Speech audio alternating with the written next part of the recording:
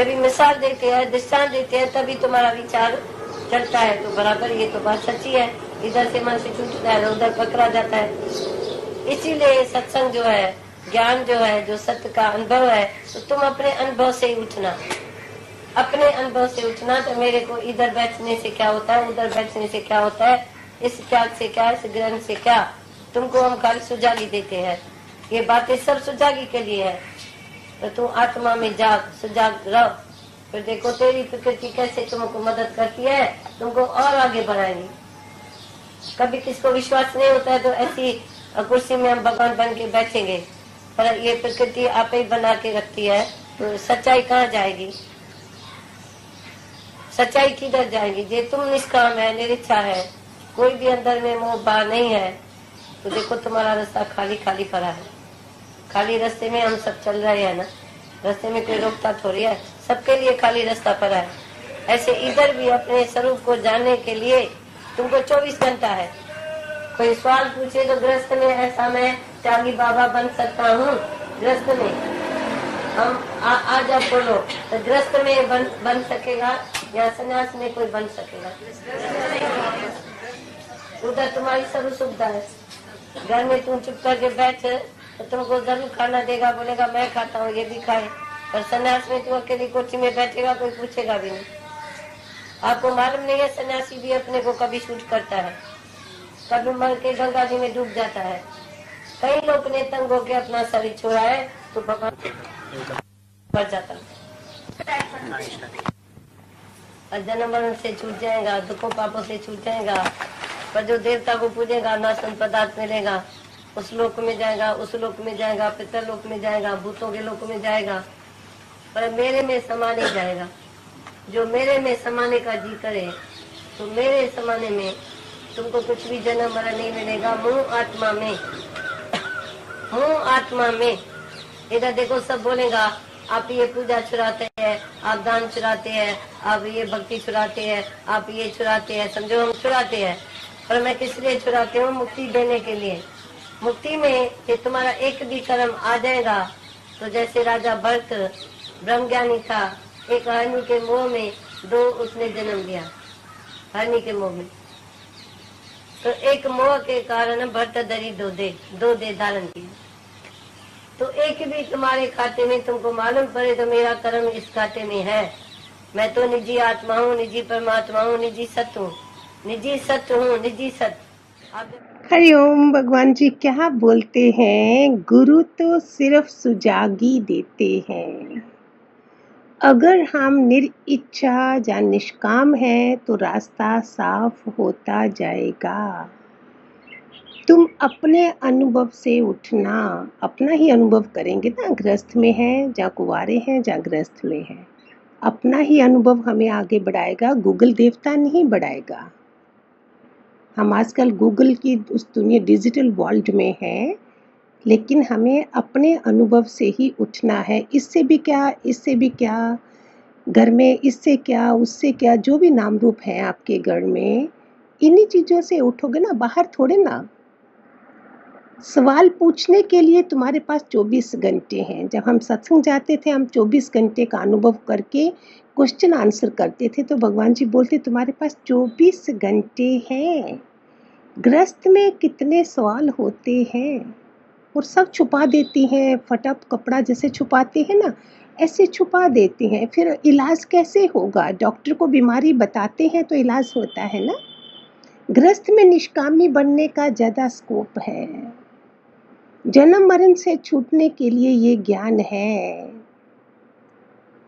जन्म मरण से कैसे छूटेंगे? छोटा सा दृष्टांत है इसमें कि आखिर हमारे जीवन का मूल्य क्या है? सब कुछ लुटा के भी मैं जीवन को बचा सकूँ तो नथिंग लाइक दैट कुछ भी मुझे पे करना पड़े कि मेरा इसी जन्म में भगवान जी के होते मेरा मोक्ष हो जाए। एक राजा साम्राज्य था। राजा था, संत के पास बैठे थे और राजा अपनी बड़ी बड़ी बातें हाँकता जा रहा था। राजमहल के पुल बाँध रहा था। उसको बता रहा था सर उसको फ़कीर को कि मेरे बहुत राजे होंगे, लेकिन मेरे जैसा राजा कोई नहीं होगा। मेरे जैसा साम्राज्य, मेरे जैसा राजमहल कोई नहीं होगा। मेरे जैसे खजाने किसी के पास नहीं होंगे, जो सोना चांदी से भरे हैं। मेरे खंभे भी महल के सोने के बने हैं। सिंहासन भी रत्नों से जड़ित हैं। इतनी सुंदर सुंदर राजकुमारियाँ किसी राज्य के पास नहीं होंगी जो मेरे पास हैं। वो अपनी गाथा गाता जा रहा है, गाता जा रहा है, गाता जा रहा है, गाता जा रहा है राज संत सुनता जा रहा है। बीच में ही फकीर बोल पड़े, संत बोल पड़े। सौभाग्य की बात है कि इतने बड़े साम्राज्य का राजा हो तुम। राजा को बोला कितनी अच्छी एग्ज़ाम्पल दी। ध्यान से सुनना, राजन इमेजिन करो तुम कभी किसी जंगल में, गहरे डीप जंगल में तुम शिकार के लिए गए हो, तुम खो गए हो। शायद हमारे लिए भी ये कहानी है। भटकते भटकते तुम कहीं सूनी जगह पे आ पहुँचे, राजस्थान के उस रेतीले मैदान में पहुँचे। घोड़े से उतरे और तपती बालू है। तुम उतर गए। ढाई तीन बज गए और तुम्हें प्यास लगी है। इमेजिन करना। संत ने कैसे उसको जवाब दिया? पानी पीना चाहा। एक बूंद पानी की कहीं नहीं है। सुबह से तुम निकले हो। तड़प रहे हो। कहीं कोई पानी घूंट मिल जाए। नहीं तो तुम्हारी मृत्यु हो सकती है ऐसे। धीरे धीरे तुम्हारा शरीर जवाब देने लगता है, होश उड़ने लगते हैं। पानी पानी पानी पानी तुम बोल रहे हो।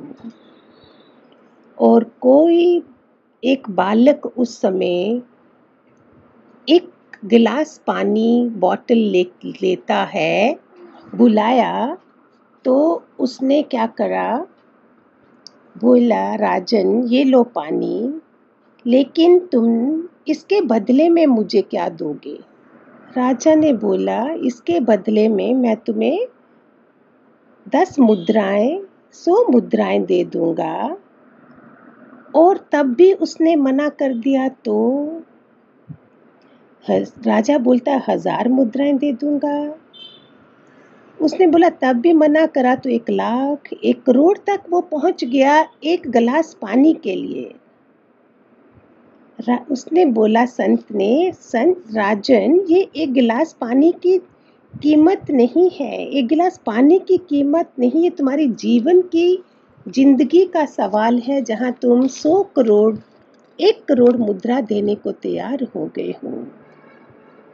तब भी अगर उसने मना किया तो क्या करोगे? बोलता मैं आधा राज्य दे दूँगा। संत ने कहा, तब भी अगर मना किया तो राजा ने कहा, फिर तो मैं उस बच्चे से पूछूँगा, तू ही बता। और अगर उस युवक बोलेगा कि, एक गिलास पानी की कीमत मैं तुम्हारा पूरा राज्य चाहता हूँ। उसने बोला हाँ मैं कर दूँगा। संत ने बोला, राजन, ये है ज़िंदगी का मूल्य।